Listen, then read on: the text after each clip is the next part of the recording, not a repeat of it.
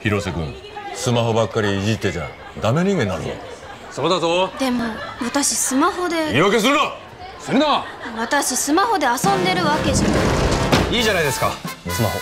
学割先生！学生の興味を大人が狭めちゃダメですよ。なんだと？学生を信じましょうよ。先生。分かってかお前黙ってろ！怖いね。怖いね角割先生。先生も割引